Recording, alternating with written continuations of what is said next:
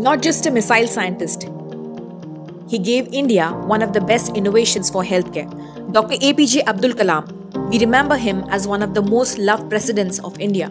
But did you know he was a scientist who contributed a lot to the healthcare sector? On his 91st birth anniversary, sharing some interesting facts how Dr. Kalam ensured access to quality healthcare for average Indians. You might be aware about the calipers or the prosthetics used by polio patients and disabled people.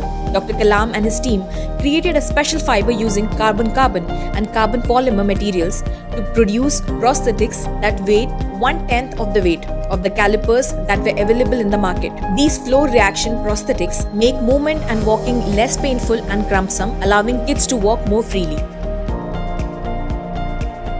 India reports the highest number of cardiac problems. With each stent operations, the country's economy adversely affects the cost of around rupees 1500 crores each year.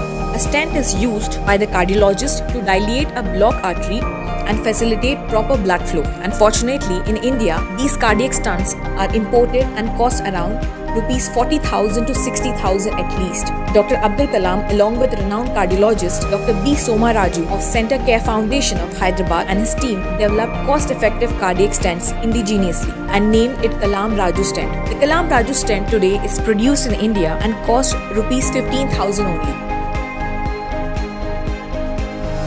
Maintaining a healthcare for patients, especially in the rural India, is difficult. Dr. Kalam, along with Dr. Raju, developed a tablet for primary level healthcare workers with a tablet that was capable of conducting a range of medical processes within a rural environment. So, what does the Kalam Raju tablet do? It offers easy access to patients' information, medication, new procedures for treatment, upcoming medical innovations, and hosts of diagnostic tools.